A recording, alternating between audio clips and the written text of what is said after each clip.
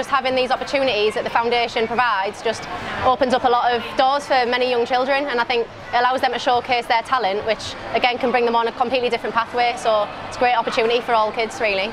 Yeah, badminton, table tennis, the dart football, um, dodgeball, you know, five-a-side out in the sun, everything. It's got everything every kid could wish for, an adult by the looks of how much we've been enjoying it. So yeah, just getting all of them involved with all of the sports has been good, but specifically football, just having a kick around with all the girls up there, seeing how much they enjoy it and how much, no matter what the standard or what their ability is like, they all just want to do it because they're, they're loving it. And I think that's just a massive thing for girls football now going forward.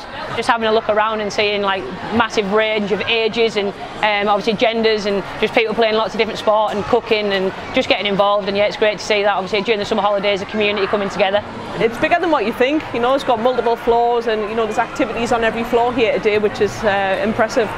I'm, I'm, really impressed. It's you know it's chock a block down there. Uh, you know as a parent myself, it's a great opportunity for you to bring your kids and what you know what looks like a huge range of activities from young toddlers into a soft play to, you know, the teenager, teenagers out there. So yeah, what a fantastic thing that you're doing.